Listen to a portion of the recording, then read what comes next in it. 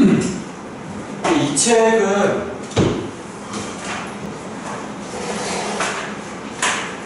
음, 이 책은 문법 독해 기본기야. 그래서 이 책을 여러분 잘 끝내면 아, 수능은 물론이고 2학기 때 내신 대기할 때도 상당히 도움이 될 거고 어, 어, 이 책은 문법 독해고 어휘가 없어. 그래서 어휘는 따로 단어 시험을 볼게. 알겠지? 그래서 단어장을 하나 정하자. 어? 방학 때 단어 많이 외워야 돼. 그래서 단어장 뭘로 할까? 그 단어를 외우는 방식은 여러 가지가 있는데 이내 어원이랑 접미사, 접두사 가지고 외워야 돼. 알아? 어원, 접두사, 접미사 알아? 아, 이런 거야. 이거 무슨 뜻이니? 어, proceed가 뭐죠? proceed. 어? 전진하다, 나가다. 여기서 프로가 뭐야? 프로? 프로는 항상 forward, forward이야.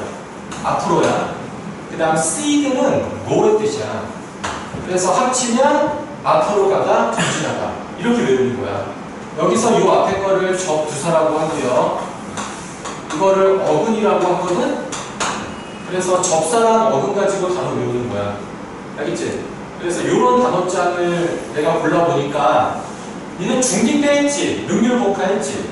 중딩 때. 그거 좀 쉽지만 그거 좀 많이씩 하자.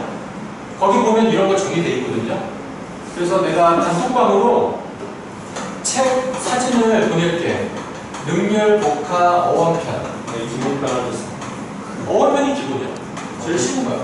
아니 근데 저희 기본편이 있었는데 이거가 이것도 초록색인데. 이거 만 원이거든요. 우리 거 기본편 외우는데 그거 아니 몰라. 어원편이 파란색이었어요. 어, 이거 만 원인데 60일치 있어요. 오케이? 60일치니까 우리 한 번에 3일치씩 시험 볼게, 3일치. 알겠어? 3일치인데 그 단어장 보시면요. 표지어가 있고 밑에 파생어, 유리어, 단위어 쭉 있거든요. 이거 몸값 시험 볼게요. 예문까지. 그래서 이것까지 합치면 1일치에 한 7, 80개? 그러면 3일치면 한 200개? 그러니까 3일에 200개 정도. 괜찮지? 어, 아니 당기죠. 알겠지? 그래서 니네 요거 사서 다음 주 화요일까지 1일치부터 3일치까지 외워봐. 알겠죠? 내가 이제 단톡방에 사진 올릴게. 각자 사라. 서점에서. 자, 그러면 그럼 몇 시끝나요? 오늘 깔끔하게 상당히 빨리 7시 반 갈까? 애들도 안 오고 그래? 자, 12번까지 했죠? 14년? 14년? 자, 쉬운 거는 넘어가고 우리가 지난번에 숙제가 그 내신 전에 숙제가 한 90, 91, 92였는데 안 했지? 당연히 안 했, 했냐? 시간이 없어요. 90, 91, 92 안에 있지. 자, 이거는 숙제를 해오시고요. 오늘 15부터 하도록 하겠습니다.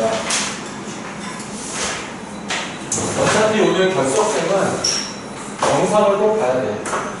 왜냐면 이 책은 내용이 이어지기 때문에 한 시간 빠지면 다음 시간에 이해가 안 돼. 귤아. 아,